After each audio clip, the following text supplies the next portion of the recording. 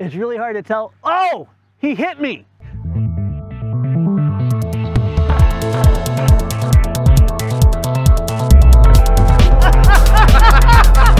oh my gosh, guys, this is incredible!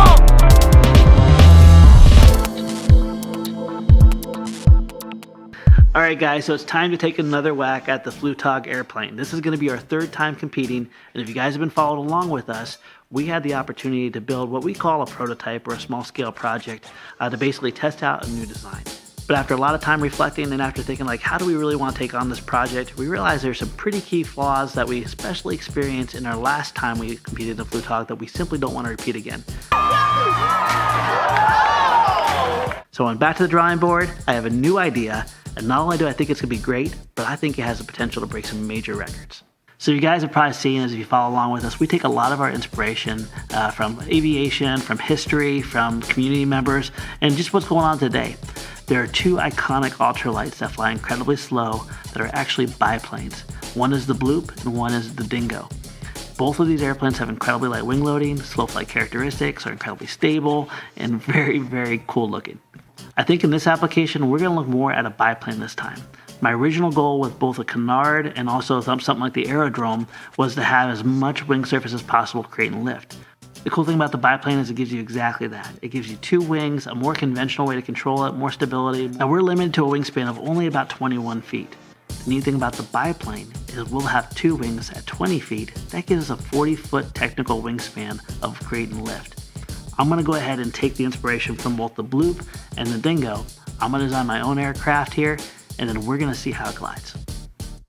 All right, so we're going through a bunch of the, you know, the different, because they try to mitigate as much risk as possible with the Flugtag. So they're working on like how high can it be, how long can the craft be. So we're kind of working through that from the design perspective, right?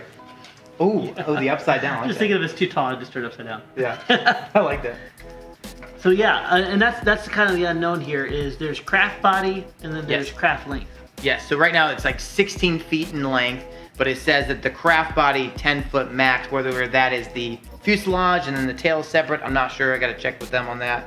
The width of the wings though is 22 feet max. We can go to 22 feet. Do you realize how? I mean, this I thought it was 16 foot wingspan, so this is in scale. This would be 16 feet. Yes. That so means we, can- we could add arguably two feet on each side, right? I mean, actually, three, two and a half feet on each side. Yeah, correct. That's a lot. That'd be awesome. One thing I definitely wanted to do, rather than having a conventional tail, when we test this, I'm gonna test it with a V-tail. Because we don't need to worry about direction, we just need to have pitch. Right, correct. And so my thought is, is if Michael's up here and we have, we can do a pull-pull cable or even a push rod if we had to. Back here, a V-tail is real easy to have pitch control. right. So we could have pitch control, we'd have the lateral stability, the dihedral will be working towards us. And it's lighter and has less drag. Yep, less, all, all the above. All the good things. Tail heaviness is, seems like a common thing that plagues us a lot of times, so I think that would keep it real simple. Well, in the meantime, I'm gonna put the tail on. I'm gonna get the center of gravity established, finish this up.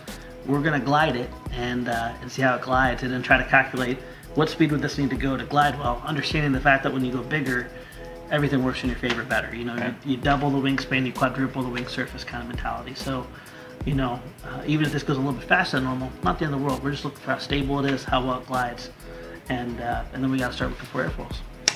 Boom. Let's get it. All right. Ready? That was awesome. That was no control towards the end, so it was flying, and then at the end I just flared just a little bit.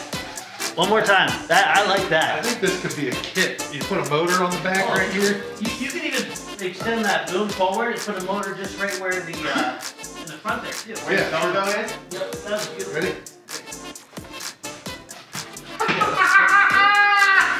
Let's go. That's awesome. All right, this will be available in stores tomorrow. So, you know, I, I just realized though, now that we can actually get decent glides, we can measure the room in a, in a perfect situation and then do our calculations of speed from there. So basically, it crosses 15 feet in a second, we can work backwards from that. That is that is my only fear. Is, you know that we're having to throw pretty hard, but it does Yeah. glide real nice once we get that speed. Yeah. Pushing it off of a cliff, we're not going to get a lot of speed. Well, and that's where that's But- where we're working in small yeah, scale. yeah. high When it goes into a bigger scale, then it needs less speed. Yeah, where's where's the scale right now, matter of fact? Well, We'll weigh it. here it is. where the scale is. All right, so the glide test went pretty good. We were even able to get it gliding inside the room here. Uh, this morning we have some pretty calm weather, and uh, Dave brought up some really good points. The amount of drag and the amount of lift. Lift was awesome. Drag was also really, really bad.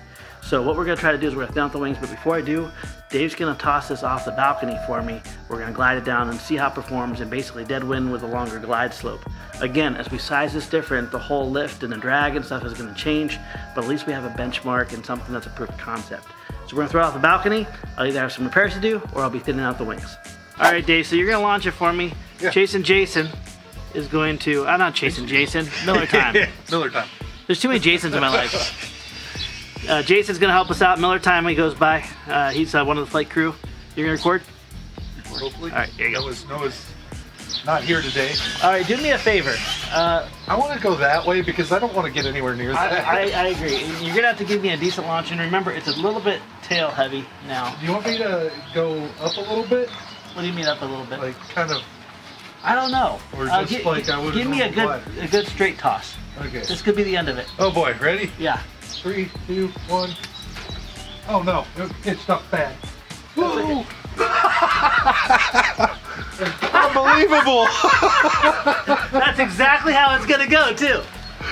Wow! I thought for sure you were gonna hit the umbrella. No, no, it, it's definitely tail heavy. We before we had a little insta go on the front to give it the nose weight. We went without it just to see what the FCG is.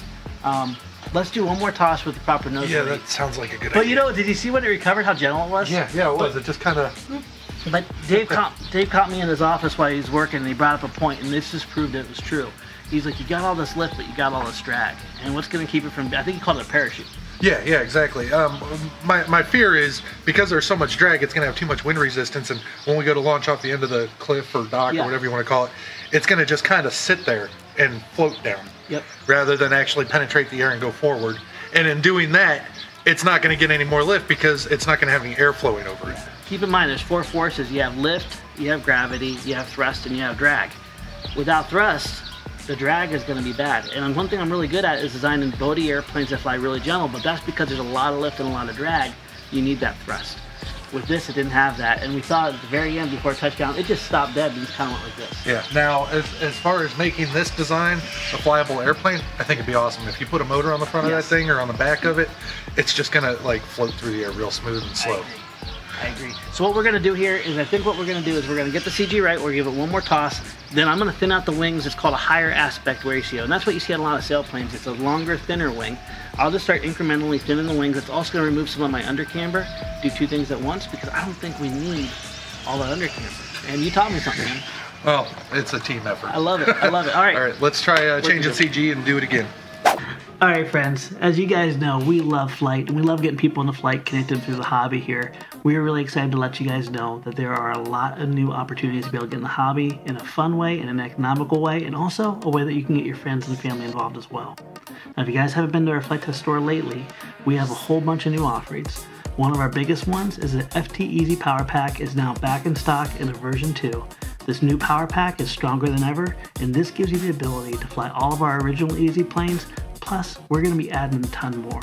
If you guys don't know what the Easy Power Pack is, the Easy Power Pack is a flight stabilized control board coupled with two motors and a really amazing transmitter.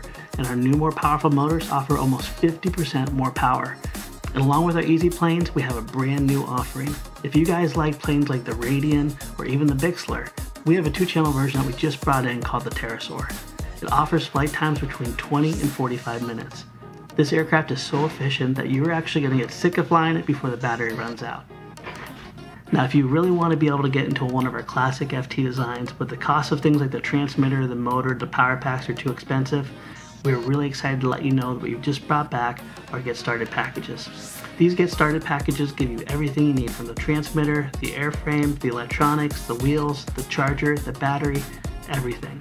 And as time goes on, we're going to be releasing more and more different Get Started packages, so please let us know what your favorite entry plane is or favorite beginner plane is so we can make that happen for you. We want to give you guys the ability and the tools to be able to enjoy flight or share it with your friends and family in a way that's inspiring, easy to do, and economical. Your support through watching the show and through our store is what keeps us around for now almost 14 years. And because of you, we are able to grow programs like STEM, advocacy for the hobby, and so much more. Our hope is that someday we will see many different people flying, designing, and building and making careers out of it. And speaking of designing, I'm ready to move on to my next version of this Flugtag airplane. I think we're going to be breaking some records with this one. All right, so I got all the pieces cut out for the next version of this glider here, and we are learning so much along the way. Now, if you guys have been following along with us, we have a really cool competition going on that gives you the opportunity to be able to win a skydiving experience with the Red Bull Air Force. We've had the opportunity to do this ourselves when we competed in the past, and I can promise you this, it is life-changing. Now the goal of this competition is to challenge you guys to design the ultimate super slow, super glidey small flyer. This can be off of our Easy Pack or Power Pack A. And we want to thank you guys ahead of time for the incredible outpouring we've had. We want to continue this competition just a little bit longer. So what we're going to do is we're going to extend the deadline all the way to the end of July. That also means that if you're coming to Flite Fest and you want to bring your favorite project, that would be the perfect time to showcase it. We would love to see it and also love to see it demonstrated. Once again, the rules and outline of this competition are listed in the link in the description below. We want to see your amazing ideas come to reality. We also want to see you skydiving with the Red Bull Air Force. And with this design, it has been an incredible evolution of learning so much. So many times I thought that high lift was the end all be all, but I'm learning so much about drag now. We've ultimately taken this from a scale design that was going to have a 4 foot wing chord down to something that has a 32 inch wing chord. This design is going to reflect that. I cannot wait to put it together. Then we're to take it out and fly.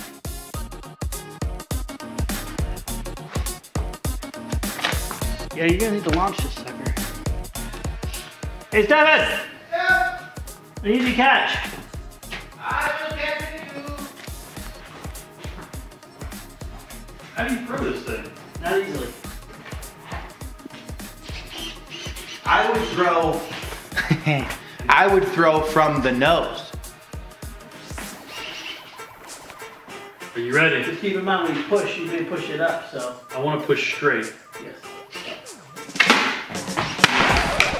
That wasn't straight. No, it was until it hit. it was until it hit my hand. Oh my god. Uh, well, you That's know. okay. We can we can rebuild. I'm gonna go back to my office.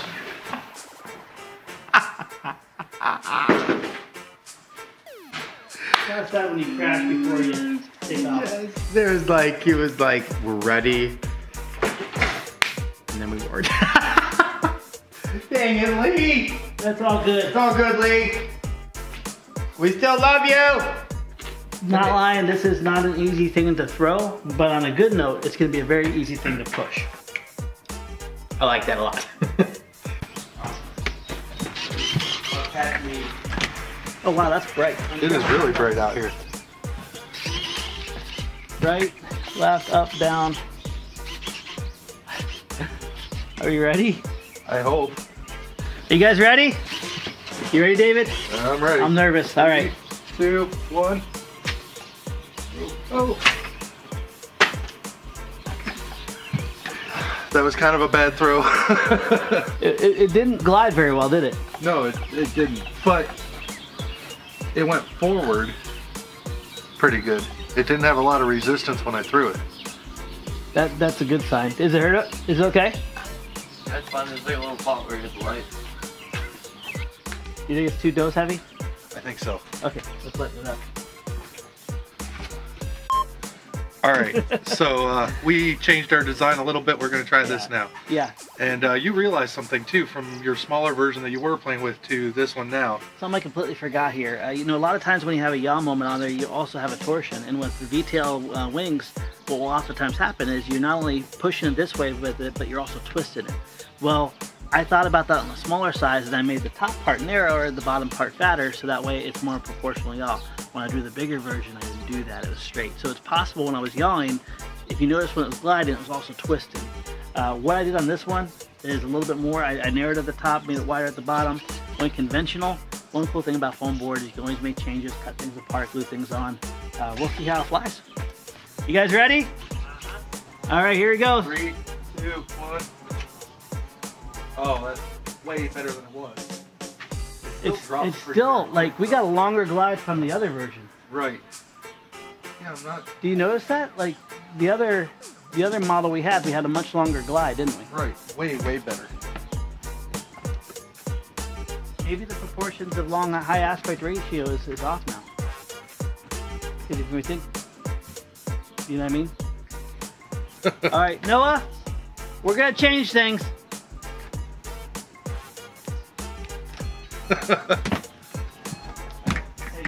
All right, so this is a good reason why we never throw away prototypes here. We're gonna go back here. Um, I think what we did is we got a little too greedy with a slippery wing. We took out too much dihedral and it's just kind of sliding through the air in a weird way. We're going back to the original one that we had some success with. This may be the proportion that we wanna blow up because it has a little bit of a wider wing chord, under cambered versus uh, flat bottom Clark Y style, and it has the V-tail with those different rudders. So the weather is nice and calm now here. We made some adjustments. We cut this down here. We're gonna throw this off the balcony. If this glides good like it did the other day, we're gonna put tow release on this. We're gonna tow it up. We're gonna see how well it glides. Woo! Three, two, one. Oh, look at that! Oh, it would have kept going. Oh! that was awesome! it would have kept going. That's a winner! Holy cow. I think we found our proportions. What do you, is it broken? Hey, no, what do you say we put a tow release on it and we tow it up? All right, let's do it. awesome. All right, so this little piece of wood, actually there's two little pieces of wood. This is our easy tow release. And what this is for is basically you can put on any kind of glider, anything you want to tow up, one servo, one piece of wire, makes it release. If you guys don't know also, we are now carrying the full line of Zap products right in our store. I'm using the medium thickness Zap CA and then the aerosol kicker. Already.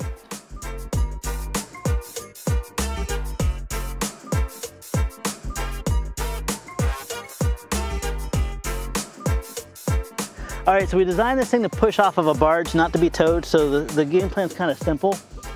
If we have to, you're just gonna pull me up like a fish out of water, yeah. I'm gonna just drag you. yeah, just, just drag me. And then when I flip this switch, hopefully I'll decouple from it. Uh, we're at ReadiBoard Runway right now. The wind's slightly crosswind no matter which one we go to, uh, but this one's nice and smooth. Um, Mike's gonna be chasing us with Batbone V2. Uh, by the way, we got this made from PCBWay. You guys can design your own frames. You guys can bring them to reality through PCBWay. That's what we do with all of our prototypes. It's a really good, quick way to get your prototypes to become reality. Um, are you ready? Yeah, I think we're good to go. Okay, right, left, up, down. Let's do it. go. Whoa. So far, so good. Look at that.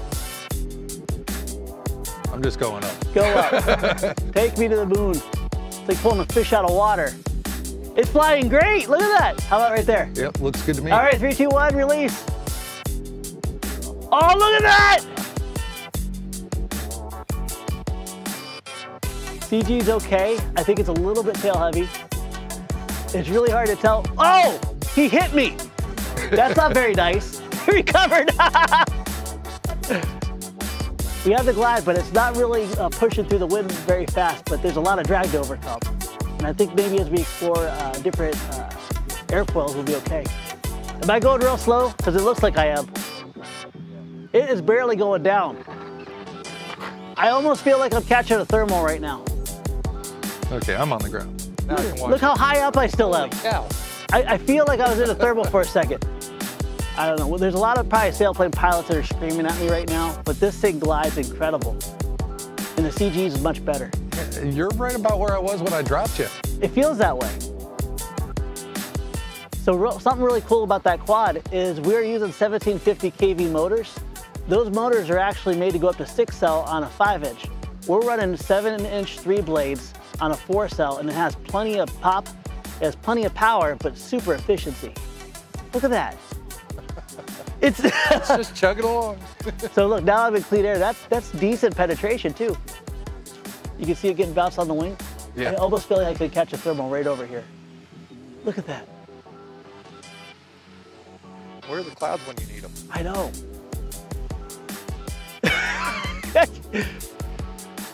Do you think this is outgliding the simple soar? It might be. I mean, it's it's stayed up there for a long time. You gonna make it back? I don't know. I think I, I got greedy. Oh, so close. Great job, buddy. awesome. All right, so friends, I think it is safe to say we have our solution for Flugtag. And do us a big favor here, join in the fun of designing and creating your airplane. That competition that we talked about earlier, uh, where you have a chance and opportunity to be able to skydive with the Red Bull team, is gonna be active all the way through July. We gave you a whole extra month. If you're planning on coming to Flite Fest and you have an idea in your brain that you wanna bring to reality, make sure you bring it there and showcase it there because you could get an opportunity to win the whole thing. So make sure you hit that like and subscribe button. We'll see you next time. Take care.